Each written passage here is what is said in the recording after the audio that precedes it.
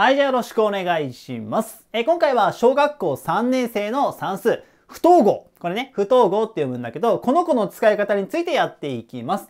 で、ポイント含めて7番まで問題ありますので、ぜひ一回ね、できそうな子は動画止めてチャレンジしてみてください。で、見た感じ、まだ習ってなかったりとか、難しそうだなと思う方は、今から説明していくんで聞いてもらえたらと思います。いいかな？では、早速ね、ポイントから始めていきましょう。で、今回はサクッと終わります。すごい使い方も簡単なんだけど、まず、不等号って何って聞かれたら、この子たちです。あ、これ顔文字みたいになってるんだけど、点無視して。この左と右、この口がパクって開いてる子。こうね。これが不等号って言います。で、どっちが大きいのっていうのを表すときに使うんです。例えばこれ、32と31って、こっちの方が、ちょっと上から被しちゃうよ。大きいよね。32の方が。で、大きい方に口を開けます。これだけ今回覚えるのは大きい方の口を開けるよって。それが使い方。ただどっちが大きいのを表すときに使うの。で、ちなみに今までみんながじゃあ使ってきた3たす4は7みたいな。こういう計算してきたよね。この時のこれは、これイコールって言うんですけど、この子を統合って言います。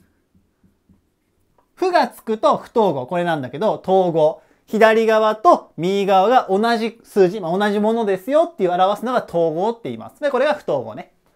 で、さっきも言ったみたいに、どっちが大きいのっていうのを比べるときに、まあ、使う、表すときにね、使うので、それを調べるときには、まあ、これ、まあ、上のでいいかな。上の位から調べます。その大きい方の位だね。左側の位です。から調べるようにしていってください。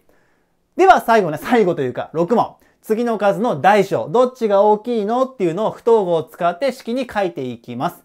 で、式に書くっていうのは、大体ね、みんなが答えを書くときには、630どっちかの不等号を900みたいな書き方をする。で、これはもうどっちが大きいか。これは分かりやすいよね。630と900だったら、右の900のが大きいので、こうやって書きます。こうやって。で、式に書こうって言われたときは、だいたいこうやって書きます。数字も書いてね。で、不等号のマークだけを書きなさいみたいな問題だったら、このマークだけ書いてくれれば大丈夫です。ただ今回、あの、全部ね、数字並んでるので、ちょっとここに、今こうやって書いたけどね、こんな感じで書かせてもらいますが、許してください。で、まあ、数字が大きくなってくるとちょっと分かりにくくなってくるんですが、まあ、この辺まだいけるかもしんないね。12,430と12,290。ただ、上のポイントで、上の位から調べようって言ってるから、ちょっと見てきます。いくよ。上の位。左側だよ。左側のね。大きい位からいきます。1と1、同じです。1万と1万だね。2と2、2000と2000、同じです。次、400と200って来るから、あ、こっちのが大きいよねって。同じ、同じくらいで同じ数字を使ってたらどっかでずれます。今回だったら1と1は同じ。2と2は同じなんだけど、ここで4と2が変わってくる。だから、4と2だったらこっちのが大きいよね。なので、これが答えになるよって。こんな感じで上の位から調べていけば、どんなにね、大きな位でも、えっと、比べることができます。で、この問題みたいに、9500万と9499万って書いてあったら、同じ万と万だよね。だから、同じ万と万だったから、もう万はいいです。ちょっと、あの、ごめんなさい。もういいです。君ちょっと待っててってことで、まあ、まずつけちゃいけないけど、本当はね。もう無視して考えます。だから、9500と9499、どっちが大きいかなって比べる。ここ、9と9、同じだもんね。5と4比べると、こっち、500のが大きいから、左の方が大きい。つまり、今、万消しちゃったけどさ。マークとしては、不等号としては、こっちを入れれば正解になります。で、このね、上の位から調べれば、教科書に書いてあるような問題は基本的にできます。できるんですけど、気をつけなきゃいけないのが、一つ追加ね。位の数です。これは気をつけなきゃいけない。例えばこの問題です。左側から、まあね、高い、上の位から比べていくと、1と1、同じ、0と3。あこっち3のが大きい。じゃあ右ってやると、これ間違いになります。この問題答え左なんです。左。なんでかっていうと、もともと数字の数が違うんです。位の数が違う。これって、1、10、100、1000万、10万ですよね。これって、1、10、100、1000万で止まってる。つまり、1万と10万。だから桁が違う、位の数が違う時点で絶対こっちの方が大きいよね。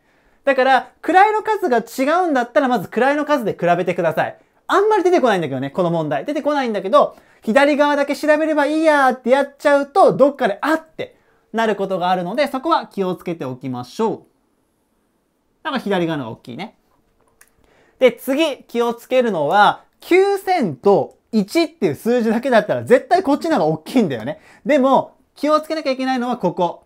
万と億なんです。億。前のね、動画でやりました。大きい数の時にやったよね。最初に普通のグループの4つの数字があって、次万のグループが4つありました。万の次が億のグループです。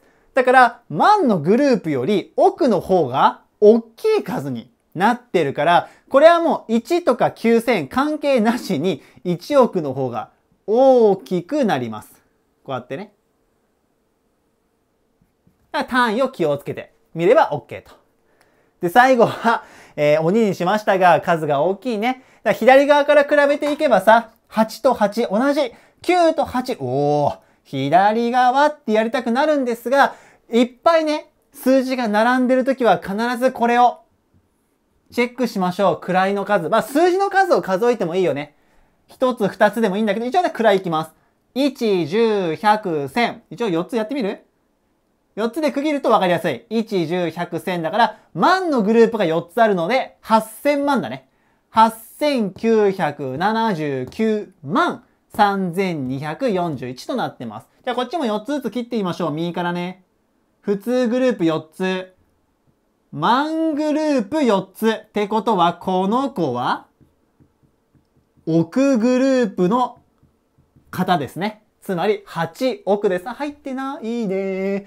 上に書きます。ごめん。入んなかった。この8は、億グループになります。だから、まあ、ここはね、8と9、左からの数字だけ見てったらこっちの方が早く大きくなるんだけども、そもそも位の数が違う。こっちは8億スタート。こっちは8000万スタートなので、当然奥が入ってるこっちの方が大きくなりますと。だから答えは右が正解になります。よいしょ。まあいろんな問題ね、やってきましたが、今回覚えてほしいのはまずこのマークです。不等号がこういうマークなんだって、口が開いてる方がこっち、こっちが大きい。ね。開いてるのが大きいっていうこと。あと比べるときは、えっと、大きな位からチェックしていけばわかるんだけども、位の数を気をつけないとミスが発生するので、ここも気をつけておきましょう。はい、ということで、今回はね、以上となります。で、次回が数直線っていう、こうね、数が入る線のやつ。まあみんな見たことあるんだけど、それについてやっていきますので、よかったらそっちもぜひね、見てみてください。それでは、今回の授業は以上となります。また次回の授業でお会いしましょう。それじゃあまたねバイバイお疲れ様でした